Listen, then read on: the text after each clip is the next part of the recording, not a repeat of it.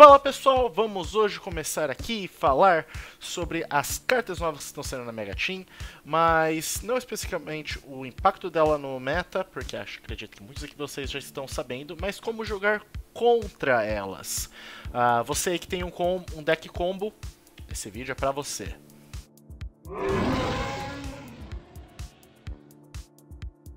De começar, gostaria de falar um pouquinho para vocês sobre os eventos que a gente vai ter aí durante esse mês. A gente já vou. A gente não. Eu já vou aproveitar que a gente vai estar falando sobre algumas cartas metas para também falar para vocês sobre os dois eventos que vai ter agora no mês de outubro. Não é agora em setembro, mas no comecinho de outubro, no dia 6 de outubro, a gente vai ter o regional uh, da coleção Hira, do Rising Rampage, uh, aqui na Dual Shop.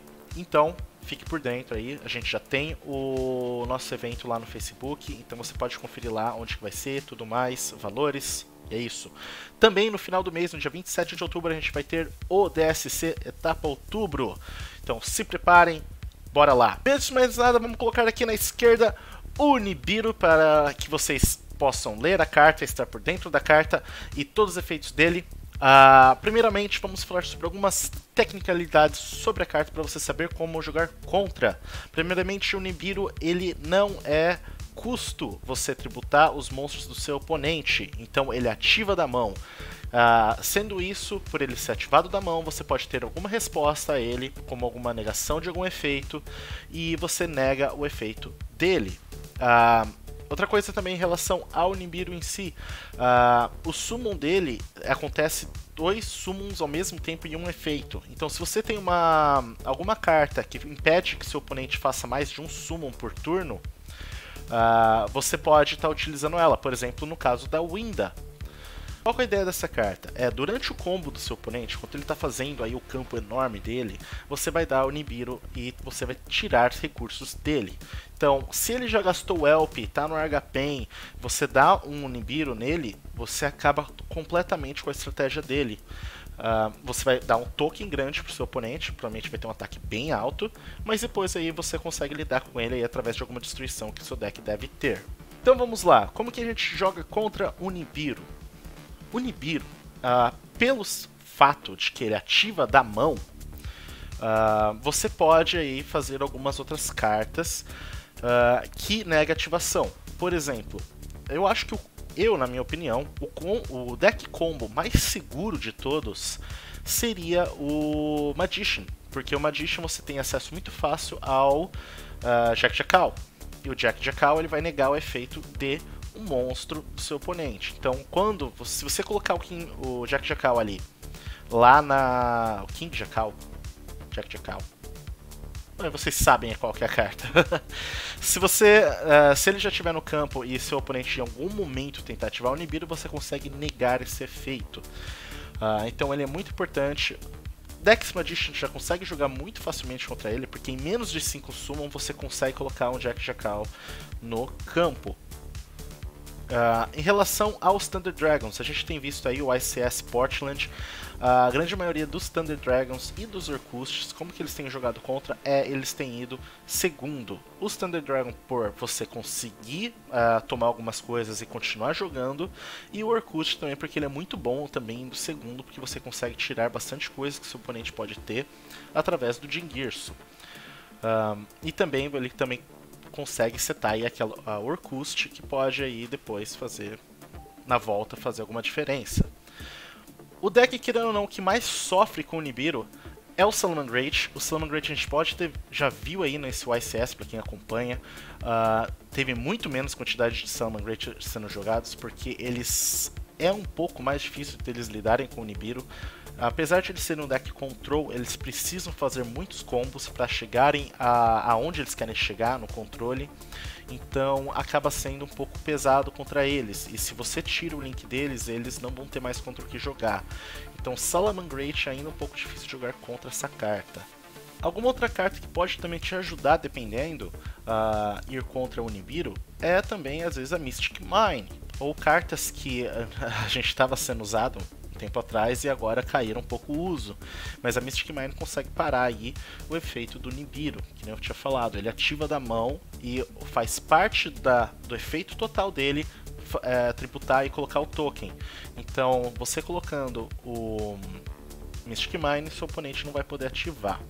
Outra coisa que a gente também viu alguns jogadores fazerem no RCS Portland, é, no combo do Thunder Dragon, em vez deles uh, fazerem o Abyss, eles estão fazendo agora o Crystal Wing. Crystal Wing uh, ele vai negar o efeito de um monstro, pode ser da mão, só que se vocês lerem a, o, o Abyss, Dragon Abyss, Archfiend Dragon Abyss, uma coisa assim, ele você escolhe uma carta no campo para negar ela. Então ela não para diretamente o um, o Nibiru. Tanto Nibiru que acaba atrapalhando um pouco. Bem, vamos então agora falar sobre a próxima carta que é a Dark Ruler No More. E essa carta aqui ela é bem, bem, bem interessante. Ela funciona praticamente parecida com uma Skill Drain. Ela vai negar os efeitos do monstro do seu oponente pelo turno e o seu oponente não vai poder ativar nenhum efeito do monstro como resposta a essa carta. Além do mais, seu oponente não vai tomar nada de dano pelo resto do turno. E essa é uma carta também muito interessante uh, para também preparar os combos não é o, não vai parar diretamente o combo do seu oponente, mas vai parar esses decks que só querem colocar monstros no campo, fazer aqueles aqueles campos enormes que praticamente não tem como você fazer nada contra uh, e tentar ganhar aí depois na volta. Então, como que a gente joga contra essa carta? Essa carta você precisa de alguma negação através de spell ou trap. Uh, algumas, alguns decks simplesmente perdem para essa carta. Por exemplo, o Thunder Dragon. Falando dos metas o Thunder Dragon e o Orcust, não, o Orcust você vai conseguir colocar a crescendo ali no, no campo. Praticamente o Thunder Dragon. Essa carta vai ser mais utilizada no momento contra os Thunder Dragons ou aqueles decks de Dragons é, com os Rockets novos que saíram, que formam aqueles, aqueles campos também insanos. Uh, porque eles acabam não utilizando nenhuma back row. Uh, já os outros decks eles conseguem lidar muito bem contra essa, contra essa carta, por exemplo, os Salamangreats. Os Salamangreats você tem aí o Roar, o, o Orcust você tem a Crescendo. Os uh, Magicians, se você jogar com uma variante Zephyra, você tem aí a Zephyra Strike. Eu acho que é o War Zephyra, o Zephyr Strike. Uh, mas que também nega uma carta do seu oponente. Você também pode estar usando alguma Solemn Judgment no seu deck, uh, que também agora tá 3. Acho que às vezes até eles já estavam pensando em colocar essa carta justamente por essa, pode ser uma teoria. Uh, essa carta então, ela. Alguns decks, bastante decks atualmente tem forma de jogar contra ela, mas ela acaba sendo win condition contra é, o Thunder Dragon. E como que o Thunder Dragon tem feito para ganhar dessa carta? Ele tem ido segundo. A grande maioria dos Thunder Dragons que a gente viu nesse YCS Portland são Thunder Dragons montados para ir segundo, com medo também dessa carta, uh, além do Nibiru. Por que, e por que, que é relevante eles irem segundo? Não só contra o Dark Ruler Unborn, mas também contra o Nibiru. Porque dependendo de contra quem eles estão jogando, digamos que eu também estou com combo deck, mas eu tenho o Nibiru na mão e eu vou primeiro. Eu coloquei muito recurso no meu campo para eu dar o Nibiru, porque ele também vai tributar os meus monstros. Então, você sendo segundo, você praticamente o Thunder Dragon ele se assegura, dependendo de contra o que ele está jogando, que ele não vai tomar o Nibiru e também não vai tomar Dark Ruler No More. E daí ele vai poder fazer todo o combo aí que ele quer aí para tentar matar o seu oponente na volta. E por fim, a gente vai falar sobre a Dimensional Shifter, Dimension Shifter. O uh, que, que é a ideia dessa carta? Essa carta ela é o macrocosmo como Range Trap.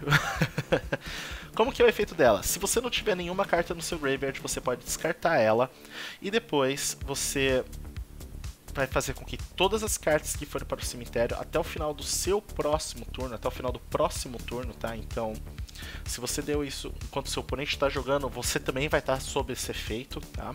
Então não se esqueça disso, é muito importante e também você, para você saber contra jogar com essa carta. É, e ela vai banir todas as cartas que forem para o cemitério. Então ela é muito boa às vezes aí contra o Orcust, contra alguns outros decks que precisam do Graveyard e hoje em dia o Graveyard ele é muito importante para os decks. Então essa carta acaba lidando contra esses decks. Essa carta no momento a gente não tá vendo tanta jogabilidade dela, porque a gente tá num meta onde você também quer usar o seu cemitério. Então, apesar de que você quer parar o, o, jogo do outro, a gente, você acaba utilizando, por exemplo, o Artifact Lanceia, que vai impedir que seu oponente bana as cartas. E a grande, grande maioria das cartas é que quando elas estão no cemitério, você bane elas para fazer algum efeito.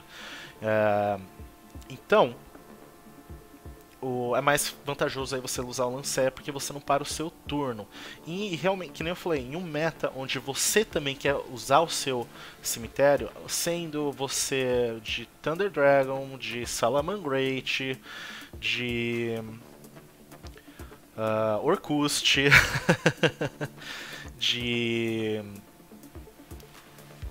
Sky Striker, deu um branquinho. Uh, todos, esses todos esses decks querem usar o Graveyard. Eu acho que os Magicians seriam os que menos utilizariam o Graveyard, mas mesmo assim uh, eles também não estão utilizando tanto essa carta. Uh, então é isso, Dimension Shifter tá aí. Provavelmente a gente vai entrar em alguma meta aí, alguma, em algum momento do Yu-Gi-Oh! onde vai ter uma divisão de dois decks metas, um que não vai usar o Graveyard e outro que vai usar o Graveyard, ou um que vai usar a mecânica de cartas banidas. E essa carta aí vai acabar tendo um hype para as pessoas estarem utilizando essa carta e as pessoas que tiverem com esse deck. Uh, é isso então, vamos para as considerações finais. Bem, eu acho que a coisa mais importante para vocês entenderem dessas cartas é que essas cartas vão ter momentos de uso dentro do jogo. Por exemplo, no momento uh, as pessoas não sabem direito, ou estamos muito no comecinho, não sabiam direito como jogar contra o Nibiru. Então todo mundo vai estar utilizando um Nibiru. Uh, até o momento onde as pessoas vão saber jogar contra o Nibiru. Quando as pessoas souberem jogar contra o Nibiru, as pessoas vão parar de usar o Nibiru. Só que daí porque as pessoas pararam de usar o Nibiru, eles vão parar de usar, parar de jogar contra o Nibiru e daí o Nibiru vai voltar ao meta. Então, isso que é importante dessas cartas. Por isso, por isso que essas cartas são tão importantes. Ela muda o meta de uma forma uh, oscilosa. Então, você vai ter momentos que essas cartas vão ser meio relevantes, vai ser momentos que essas cartas vão ser bem relevantes, vai ter momentos que essas cartas vão ser irrelevantes, momentos que essas cartas vão ser bem, bem irrelevantes. Relevantes.